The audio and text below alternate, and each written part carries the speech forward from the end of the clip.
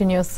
కాంగ్రెస్ అగ్రనేత రాహుల్ గాంధీ ఎన్నికల్లో ఇచ్చిన హామీ మేరకు రుణమాఫీ చేయబోతున్నామని టీపీసీసీ అధ్యక్షుడు సీఎం రేవంత్ రెడ్డి తెలిపారు. పీసీసీ అధ్యక్షుడిగా మంచి విజయాలు సాధించానని చెప్పారు. కొత్త పీసీసీ అధ్యక్షుడి నియామకం చేపట్టాలని అధిష్టానాన్ని కోరినట్లు ఆయన ఢిల్లీలో తెలిపారు.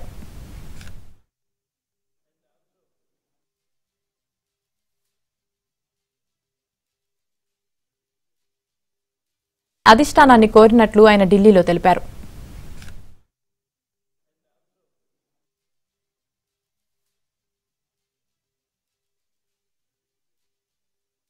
అధిష్టానాన్ని కోరినట్లు ఆయన ఢిల్లీలో తెలిపారు.